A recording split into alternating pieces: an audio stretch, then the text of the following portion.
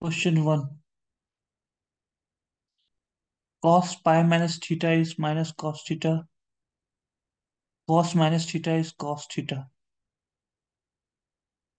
Sin pi minus theta is sin theta. Cos pi, pi plus 2 theta is minus sin theta.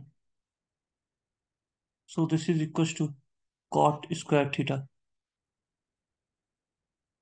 Now, question 2. This is cos theta. Sine. It will become sine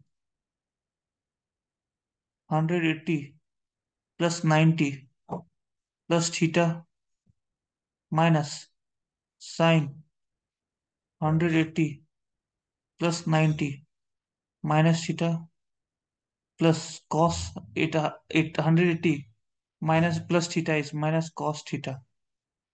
So this and this is getting cancelled.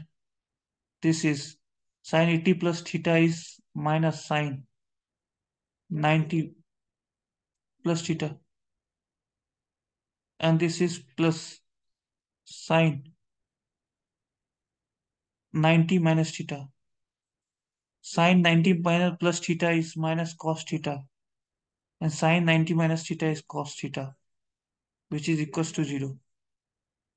Question 3. This is cos pi plus pi by 2 theta.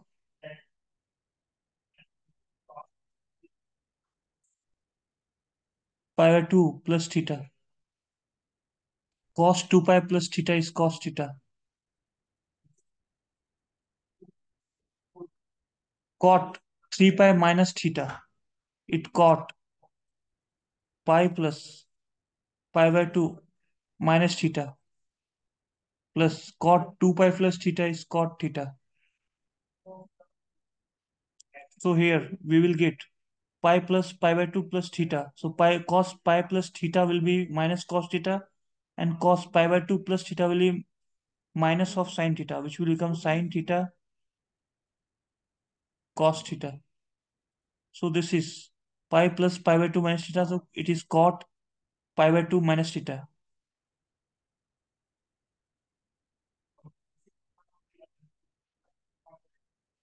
So this is in multiplication, yes.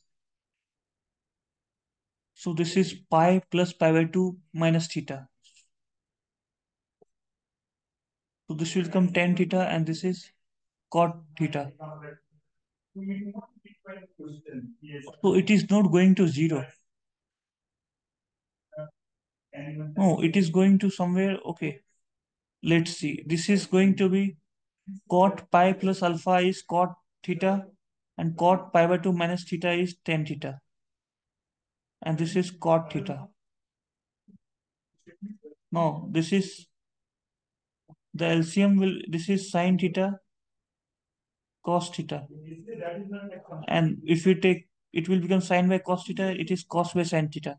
So which will come out to be sine theta, cos theta. And here it is sine square theta plus cos square theta, which is equals to 1.